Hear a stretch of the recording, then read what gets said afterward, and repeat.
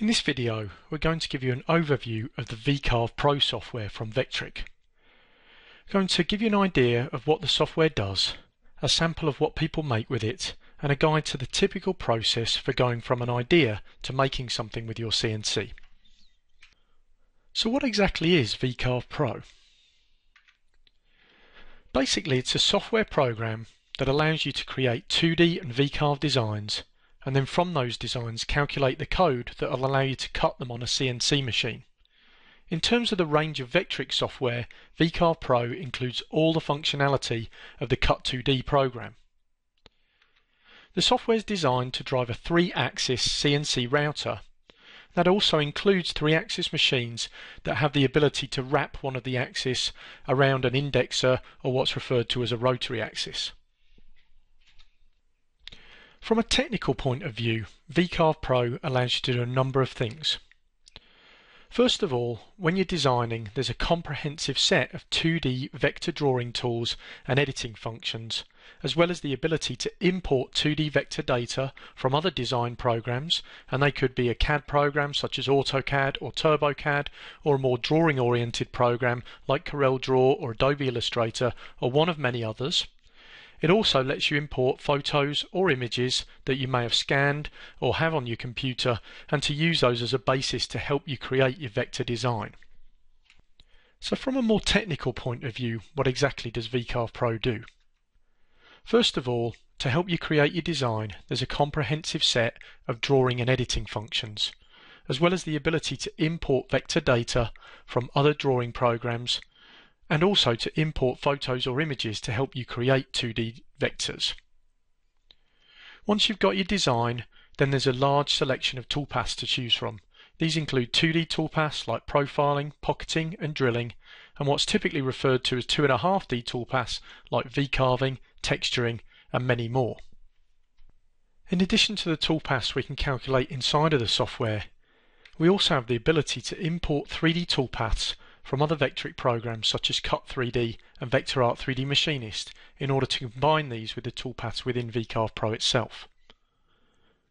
Once we have our toolpaths, then we have a really nice way to preview those so we can see exactly what you're going to machine before you get to the CNC, in addition to the ability to add colours to it so you can get a realistic rendering as the one you can see there in the last image on the slide.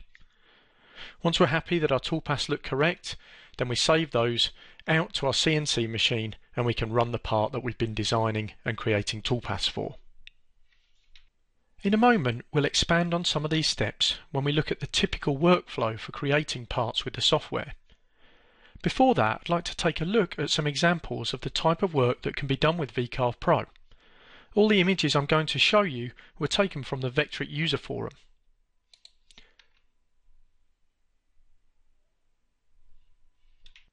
On this slide you can see a range of examples from decorative inlays in a tabletop through to cabinet panel processing, the imported toolpath for the eagle and the decorative stand from a church. The house sign was actually one of the Vectric monthly projects that we give away free on the website. If you're interested in that you can sign up for our newsletter to get more details about how to receive those. On the next slide we have a selection of sign making examples and you can see these vary from simple cut-out shapes all the way through to parts that have detailed textured backgrounds and even with the horse there another imported 3D toolpath that's been combined with the other toolpaths in VCarve Pro.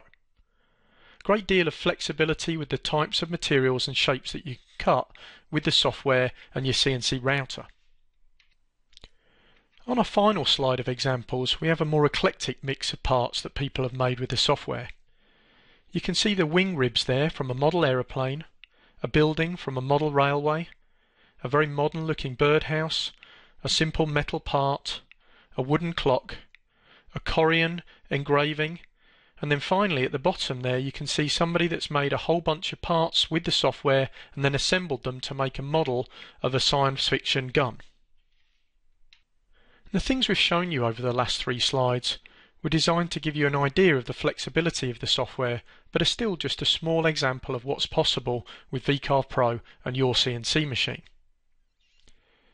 Now we've talked about what the software can do, and we've given you an idea of the type of things people make. What I'd like to do now is explain the working process in order to get from your design to the finished part on the CNC. The first stage of our process is the design, and this in itself is broken up into a number of smaller stages, the first of which is developing the concept. Now this may take the form of just an idea that you have in your head of something that you'd like to make, or it may be something that you're creating for a customer, and they may be able to provide you with data in order to help you design it. That may take the form of vectors that have been designed in another software program, or it may be sketches or photographs that they can supply to you that you can import into the software to help you base your drawing on. Once we have the concept, the next thing is to set up our job in VCarve Pro to define the sizes and also to define how we plan to orient it on the CNC. Once we've done that, we can import any appropriate data that we've got, whether it's our own data or whether it's something from the customer. And then from that, we can derive our vectors. If we don't have any data to import, then VCarve Pro has a full set of drawing tools that we can use in order to create our vectors. Finally, we may need to do some editing and organization with the information in order to get it ready to actually be able to calculate the toolpaths on. On the next stage, we're going to actually create the data that will drive the CNC machine. Therefore, the first job, which is very important, is going to be to check our material setup that we have set in the program against the CNC and how we're planning to set up our material on there. That's checking that the size is right and also things like the position we're going to tell the CNC in order to reference the job from is the same as what we've indicated in the program.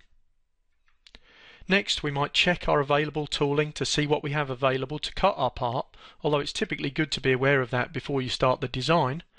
But from that, we can go ahead and calculate our toolpaths.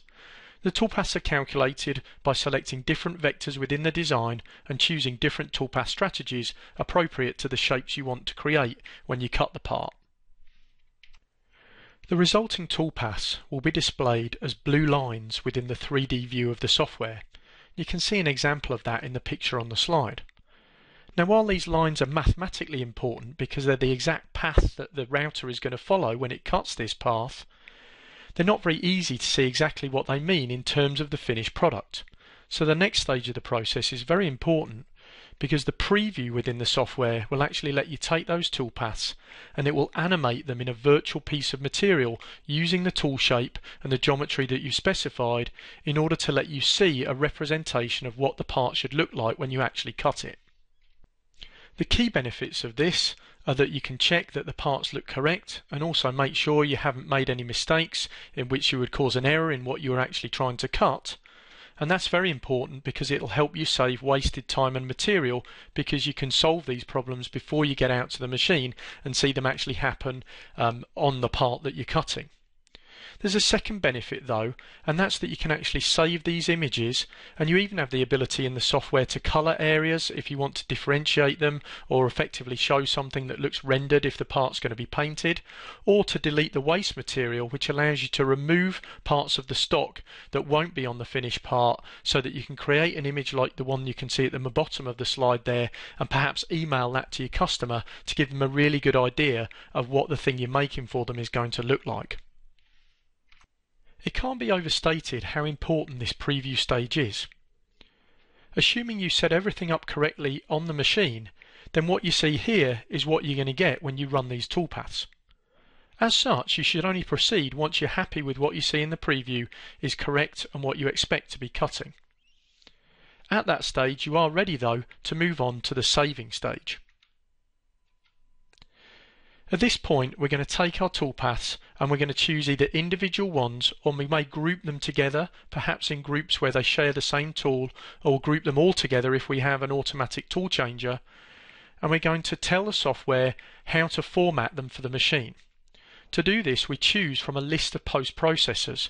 The post processor is what's going to take the data from within the software, it's going to take the toolpath moves, and it's going to format them so your CNC control is going to understand that and translate it into physical moves that's actually going to cut the part. Within the software itself, we have hundreds of different post processors to choose from, and once you have found the one that works for your machine, then you're able to just leave that because the software will remember it for next time you come to save your toolpaths. Once we've chosen the post processor to format the data, then we save the toolpaths onto the hard drive and transfer those out to the CNC machine and then we're able to actually go ahead and run those in order to cut our final part and we're just left with any finishing we want to do on it. Hopefully at this point we've given you enough of a taste of the software that you're excited to start working with it. If you bought a copy of VCarve Pro or perhaps received it as part of a package with your CNC machine, then go ahead and install it and start working with the software immediately. If you don't own a copy of the software, then you can download a free trial from the Vectric website. And either way, the next thing would be to start working through the videos and the documentation, practice with the software and cut some sample files to really understand how easy it is to use, but also how flexible and powerful the software is. In addition to the tutorials, we also have a lot of other resources available to help you get the most from VCarve Pro. Within the software itself, you can access the reference manual that you can browse through in order to find information on the specific functions and icons. Online we have the user forum which is a brilliant resource for information and also a great place to ask questions about everything from the software through to materials, tooling and different techniques people use for finishing. Also online we have our support website which gives you access to the training material, to the forum, to the free monthly projects, to program updates and also the FAQ or frequently asked questions section which is a great place to look up information or to find out specifics about the software. Finally, there's also a link on there to contact Vectric if you have a question you'd like our support department to help with. So that almost concludes our VCarve Pro overview. We hope you enjoy using the software and that you'll get involved in the Vectric community whether it's by downloading one of our free monthly projects, joining the Vectric forum, or attending one of our user group meetings. Thanks for watching.